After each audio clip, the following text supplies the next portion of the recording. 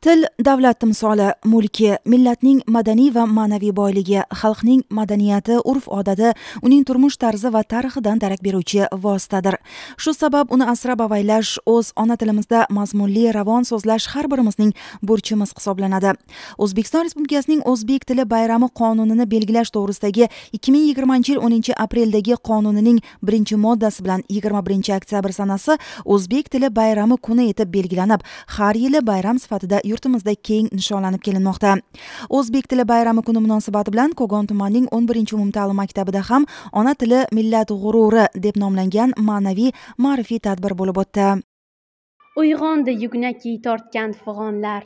Tinglab dunyo chekkan faryod sasini urush olovini yoqqan nodonlar tinglasin xos hojib taronasini bashar dardlariga bo'lgan darmonim oh ona tilim onajon tilim.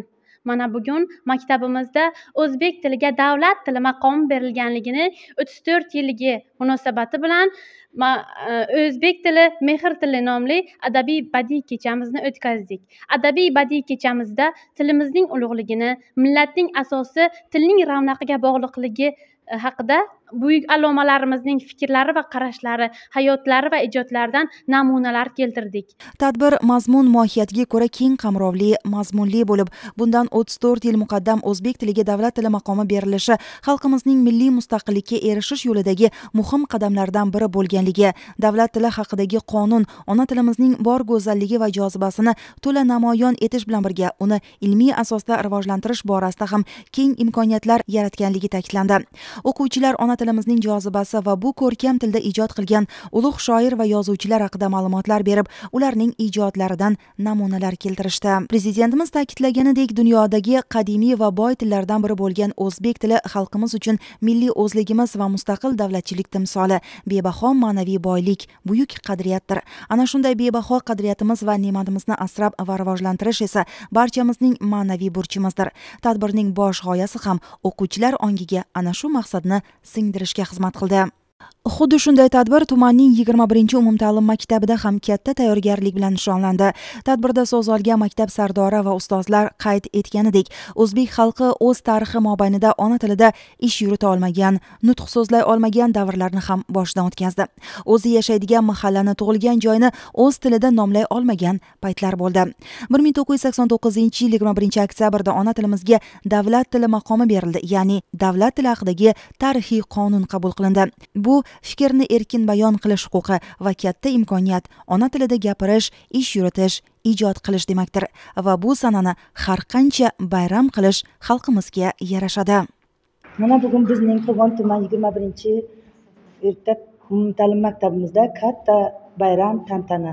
Bu bayram asosan tilimizga bo'lgan hurmatimizni ko'rsatyapti. Uni ardoqlab yosh avlodga targ'ib qilishimizga bizga da'vat qilyapti. Bugungi tarbiyaviy ahamiyatga ega bo'lgan bu tadbirimiz aniq ayta olamanki ishtirokchilarimizda ham maktab o'quvchilarimizni ham qalbida o'z ona tiliga bo'lgan mehrini yanada kuchaytirdi. Uni sevib ardoqlab o'tmishiga bo'lgan tarixiga bo'lgan qiziqishini oshirdi. Mana shu fursatdan foydalanib maktabimiz kasaba uyushmasi tomonidan mana shunaqangi tadbirni uyushtirgan bizni ajoyib ona tili fani o'qituvchilarimizga o'z minnatdorchiligimizni bildirib bunday tadbirlarni yanada ko'plab o'tkazishlarini da'vat qilib qolardim. Chunki e, bizni davlatimizga prezidentimiz tomonidan hukumatimiz tomonidan hamma imkoniyatlar hozirgi kunda yosh avlodni to'g'ri tarbiyalab ularga o'z ona vataniga tiliga ustozlariga qolaversa butun el yurtiga xalqiga bo'lgan muhabbatini oshirishga o'z hissasini qo'shadi degan umiddaman. Tadbir davomida maktab o'quvchilari ustozlari yordamida tayyorlagan ma'rifiy dastur orqali o'zbek tilining dunyoda tutgan o'rni va nufuzi bu tilda ijod qilgan buyuk shoirlarimizning ona tilimiz haqidagi fikrlari va mustaqillik yillarida tilimiz rivoji yo'lida amalga oshirilgan ishlarga alohida to'xtalib o'tishdi.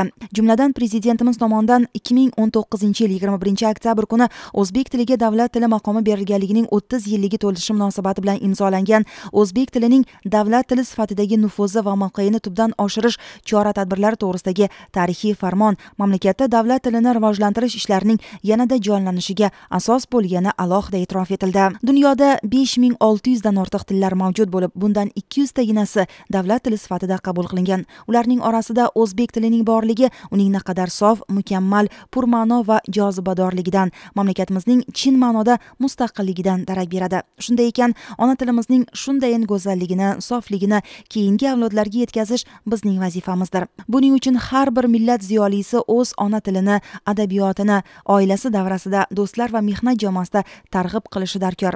Har bir millatimiz vakili o'zbek tilining tashrif qog'ozi sifatida namoyon bo'lishi shart ekanligini hamisha kun tartibida tutishi kerak. Har birimiz o'z ona tilimizga e'tiborli bo'lishimiz uni ardoqlashimiz kelajak avlodga nafosat va nazokatli tilimizni butun go'zalliklari bilan yetkazishimiz lozim.